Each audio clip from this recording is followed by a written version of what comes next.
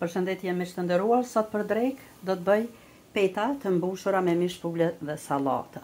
Ja këto janë petat që i përdori, trongoj, majonez, një salcë të djegës, fleta të sallatës edhe mishin e pulës të marinuar e kam fërguar tani.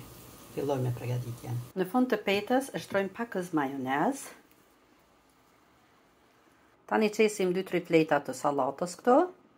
Tani i qesim mishin e pulës të fërguar. Tani ja qesim këtë salcën. Unë e kom zgjedhë një salcë djegse.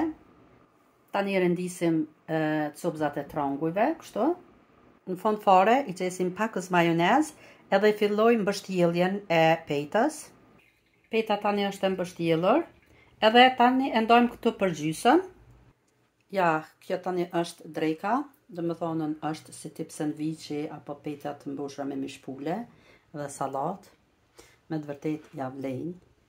Është tepër e shijshme, po edhe nuk merr njeri qaq shumë brumra, se petat janë mjaft holla, më shumë janë të mbushura me salat dhe tranguj.